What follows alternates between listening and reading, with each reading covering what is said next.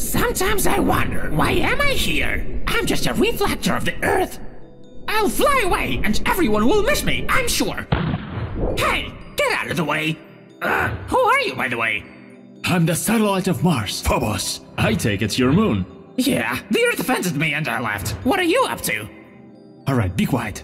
Mars is remembering his youth again and telling us about it. I'm already tired. Hello, idiots. Are you talking about me?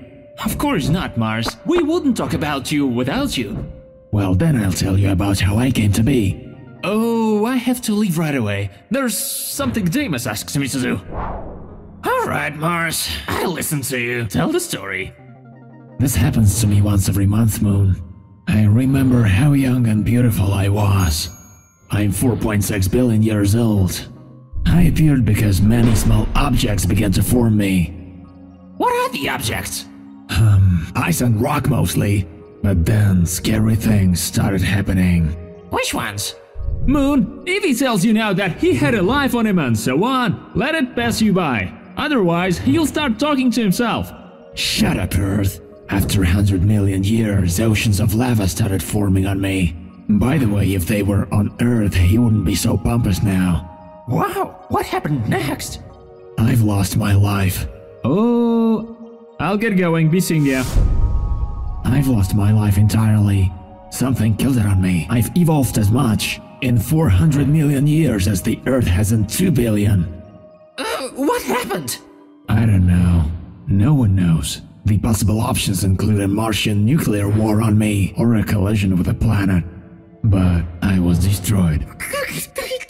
Mars, let me, let me give you a hug. Are you nuts? Go f- Mars, do you remember how we saved the sun when he got cold? Can we just sit in silence? You're talking all the time. Can't we just do nothing for a minute? I'm sorry for being rude. But if you say that to me one more time, I will throw you in the sun. Uh, okay, I'm sorry. What were you saying? Remember how we warmed the sun when he got cold? We just leaned on him and he suddenly burst into flames. And then Earth said that our cores should stay warm. But what was she talking about? What are these cores? I just heard your conversation and I think I know the answer. Come on, surprise us. Apparently, we're like some kind of berry, like a peach. When you eat the flesh of a peach, there's a bit inside. This is the core, as I understand it. Well, I guess we're berries indeed, and we have a bit inside of us, but it can be planted anywhere. Oh my god, that's the dumbest thing I've ever heard. Why are there so many idiots around me? That's an interesting theory. Yeah, why don't you just call Earth and she'll explain everything to us? Good thinking. Earth, Earth, Earth, Earth, Earth, we need your help. Hmm, what kind of help? Remember how we warmed the sun? Of course I remember. How can I forget that? I launched a rocket into the sun. It's so good he doesn't remember that. no, Earth. I remember everything. I have a burn because of you. I didn't know we have someone dumber than Mars in our galaxy. To be honest, neither did I. So, this is where we left off. Of course I remember how we ignited the sun. After that, you said about some cores inside us, and that thanks to them, we warmed the sun. What are these cores? Yes, we are really curious about that. Ha! Well, it's simple. We are made of several layers, and we have a kind of a ball inside us. Well, it's about like us, but smaller. So this ball creates heat for our outer layers. It might seem strange to think about it, but it's true. This is somewhat like a pit and a berry. Didn't I tell you guys? Told you, and you didn't believe me, and Mars even calls me an idiot. You're partially right. Our cores are different from pits because they are liquid. Just like melted cheese. That's why lava flows from volcanoes on me sometimes. One day it's a berry pet, the next day it's melted cheese. We are not even planets anymore. We are food. Oh, Mars, I told you. Shut your mouth and don't ever open it! Earth, you've been standing like this for a while, and you look like you've become Mars. Huh? What do you mean? I mean, dumb, just look at him. Hmm. Why isn't the sun cold? Yeah, you see it. No, that's because people on me spotted some other planet in space and called it Planet 9. Oh, so it's Pluto. Sometimes a planet and sometimes not. Huh? Did somebody call me? Get out of here. Okay. No, it's not about Pluto. This planet is beyond the Kuiper Belt. People have described it as completely black. At least that's what the pictures they took look like. Wow, I have never thought we have any other planets. By the way, we haven't seen exoplanets for a long time. We should visit them. I suggest that we fly to Kuiper Belt right now and look for that planet. Well, okay, I don't mind. Oh, hello, Earth. Hello, Moon. Hello, Saturn. We need to fly to the Kuiper Belt. Where do we go? Oh, you should ask Jupiter. He's over there. Thank you. Hello, Jupiter. Hi, guys. We are flying to the Kuiper Belt. Where is it? Ah, you're almost there. This way. Thanks. Oh, I can't wait to get to know Planet 9. Yeah, I would love to meet her too. I wonder, how much longer do I have to fly?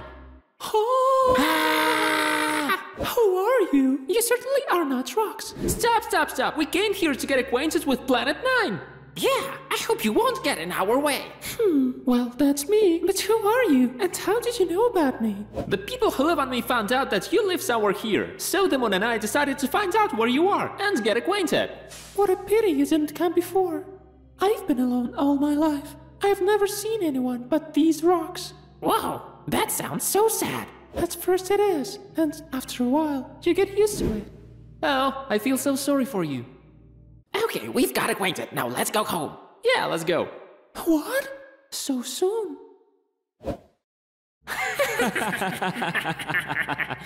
Come on, we're kidding. We just met, so I think we need to get to know each other better. Yeah, to be honest, I didn't believe you really exist. Well, sometimes I think that I don't exist myself. You know, it's very hard to be alone. There's no one here. Only rocks flying around. Yeah, I have to be more careful. I don't want meteorites to fall on me. And why didn't you try to find somebody? There are other planets out there, for example. Huh, I hadn't really thought of that. Well, we've found you, though we've heard about you just recently. It doesn't matter anymore. I'm glad that for the first time I met someone else.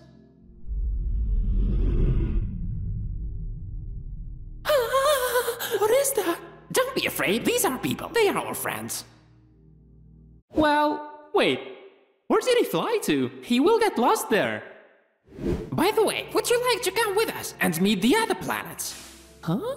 Are there many of you? Sometimes eight, sometimes nine. There's a planet that hasn't decided whether he's going to be with us or not. And this planet is crazy. His name is Pluto. Oh, such complicated names. I hope I will remember you. And here I am. I brought someone with me, but he got lost somewhere. Oh, I hope it's one of the planets. Moon was just telling me about them. Oh, yes. This planet will definitely surprise you, but I hope you won't get scared. Well, excuse me for being so scared. I've never seen anybody but myself.